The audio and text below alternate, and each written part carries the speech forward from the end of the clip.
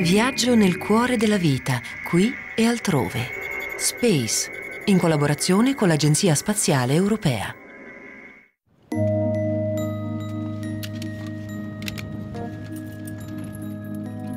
Una barriera blocca l'entrata ad una zona acquitrinosa.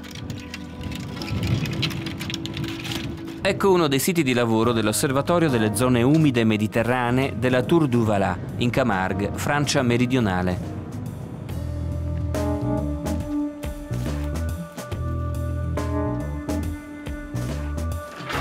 I ricercatori hanno costruito con cura solide postazioni d'osservazione per non disturbare la fauna locale, cioè gli uccelli che trovano qui un'oasi di pace per rifocillarsi.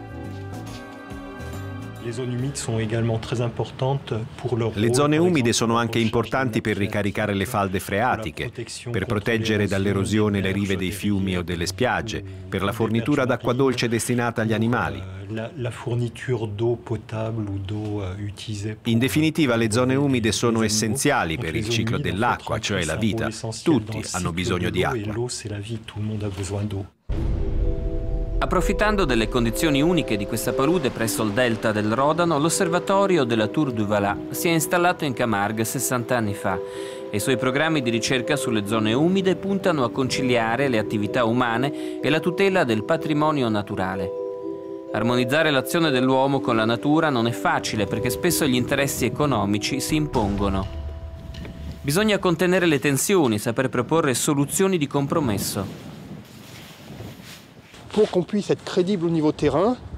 per poter essere convincenti, sul terreno ci si basa su una rete di organizzazioni non governative, associazioni di esperti che ci informino con dati euh, affidabili. Euh, si cerca di comunicare con un linguaggio comprensibile, essere l'interfaccia fra scienza e politica, in modo che la gente capisca quelli che sono i loro interessi politici per la protezione delle paludi. La grande difficoltà dell'osservatorio è passare dalla scienza alla politica. L'osmosi fra scienza e politica esiste a Glan, sulla riva svizzera del lago Lemano. La si ottiene con un'organizzazione internazionale, la Convenzione di Ramsar per le zone umide. Sentiamo il suo segretario generale aggiunto. Back in the 1960s, negli anni 60 un numero crescente di persone venne coinvolto nella sistematica distruzione delle zone umide per ragioni economiche, per l'agricoltura, per lo sviluppo industriale e urbano.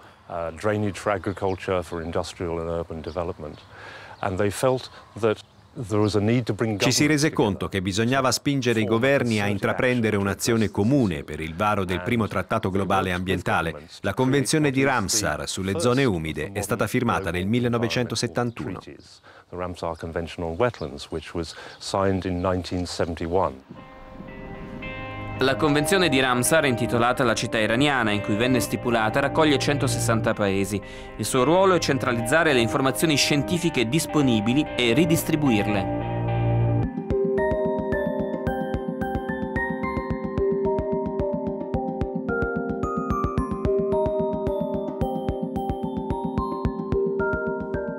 Inoltre necessaria una visione d'insieme, in questo campo le immagini che vengono dallo spazio completano l'osservazione delle problematiche e delle difficoltà legate alle catastrofi naturali, come è stato il caso dello tsunami del 2005, in cui i satelliti hanno mostrato la loro efficacia. Per coloro che sono responsabili della gestione delle paludi e le controllano, il compito è gravoso perché non sono luoghi dove si lavora agevolmente. Per questo la visione satellitare, la sua analisi, per esempio nel quadro del progetto Globe Wetland, diventa capitale e importante.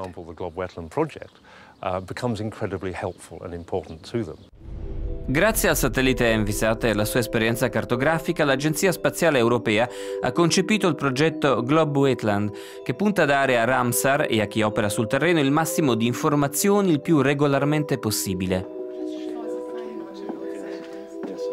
Katrin Weiss, responsabile del progetto Globe Wetland 2, si reca spesso in Svizzera per armonizzare l'azione con Ramsar. Lavoriamo su un'area che è un anello sul Mediterraneo, con una larghezza di 100 km. Tocca il Nord Africa, il Medio Oriente, va dal Marocco alla Turchia. I punti blu sono i siti dei test o le zone acquitrinose che vogliamo mappare.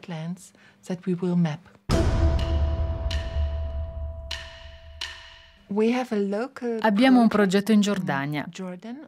Il sito è quello di Ramsar Azraq. La palude di Azraq sconta una forte pressione.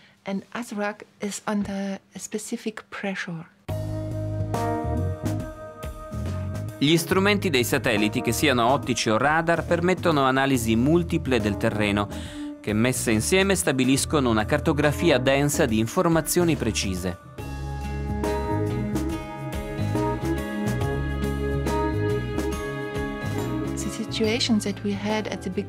La situazione che avevamo all'inizio degli anni 90 uh, era che le zone paludose più o meno scomparivano.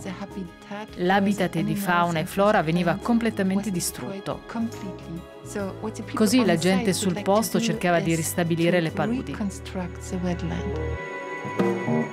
La partita è ancora aperta, ma i primi risultati già sono visibili. Le nostre immagini saranno importanti per loro per fornire un'informazione sulla situazione che abbiamo avuto da 30 anni a questa parte e consentiranno di fare una pianificazione per la ricostruzione.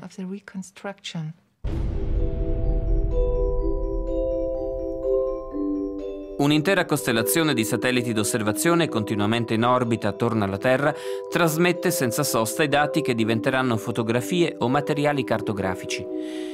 L'ESDRIN, Istituto Europeo di Ricerche Spaziali a Frascati, Roma, è la base centrale delle operazioni di ricezione dei dati dai satelliti per le nazioni o le agenzie spaziali che cooperano con l'ESA. È importante avere una visione del passato. Siamo fortunati ad avere immagini satellitari dal 1972 in avanti. È importante per la gente sul posto poter disporre di questo repertorio storico. La banca di immagini costruita all'Esdrin dal 1972 consente di realizzare una cartografia cronologica che rappresenta un repertorio delle cause che hanno provocato i cambiamenti nelle zone analizzate. Queste carte sono inoltre uno dei vettori essenziali che compongono il progetto Globe Wetland, un lavoro minuzioso ma indispensabile. Presto nuovi strumenti saranno a disposizione. Siamo veramente lieti nel poter disporre di un nuovo futuro archivio da Sentinel. Il vantaggio di Sentinel sta nella frequenza del suo controllo e nel poter accedere a dati in risoluzione migliore rispetto a quelli adoperati fino ad oggi. It is a better resolution than the data that we're using now.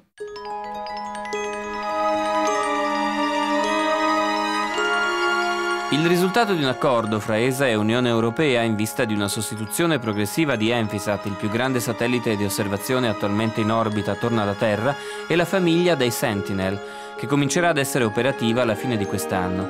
Questi satelliti di ultima generazione dispongono di radar ad alta definizione e di ottiche agli infrarossi.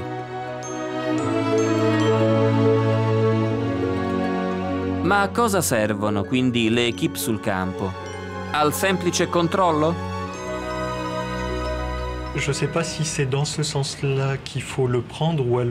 Non so se bisogna considerarle così o se è l'inverso, cioè che siano le osservazioni satellitari a portarci qualcosa. Euh, per esempio, per sapere quale sia l'estensione delle aree acquitrinose che restano nelle zone mediterranee. Qui l'impatto sull'acqua è pesante, queste zone umide sono scomparse a gran velocità ed è qui che intervengono le immagini dei satelliti. All'osservatorio della Tour du Valat tutti gli abitanti delle zone paludose sono oggetto di studio. Si studia la loro alimentazione, come si riproducono, il loro impatto sull'ambiente. Nessuna specie è esclusa. È un gambero introdotto dall'uomo, è originario dell'America. Dagli anni 70 si diffonde in tutta Europa.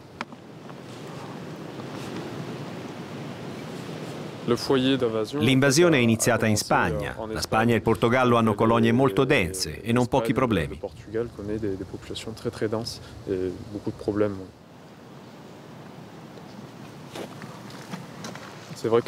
È vero che i danni si ripercuotono sulle opere di irrigazione, soprattutto sulle risaie. Si pensa a un certo impatto.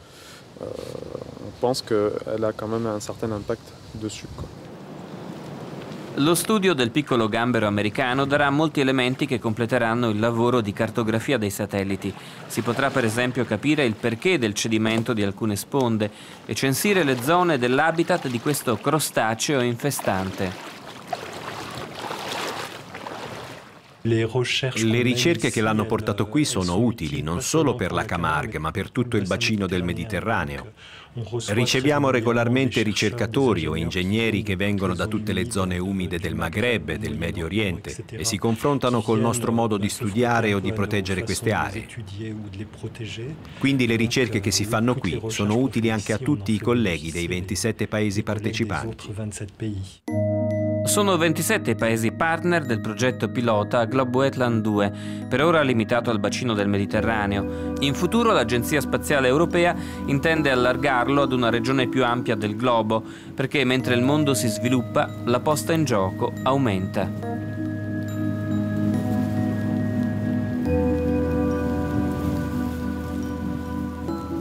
Le zone paludose schiudono una vasta ricchezza di risorse e di valori per le popolazioni, miliardi di dollari l'anno, le naturali infrastrutture per l'acqua destinate a usi diversi. E ancora sono aree che vedono l'incremento della crescita economica, dello sviluppo industriale e anche la crescita della popolazione che domanda sempre più alimenti. E questa è un'ulteriore difficoltà per le zone umide. Uh, the pressures on wetlands are still with us. A tutto questo forte impatto si aggiunge la sfida maggiore, quella del riscaldamento climatico, che metterà a dura prova tutte le specie viventi sul pianeta Terra.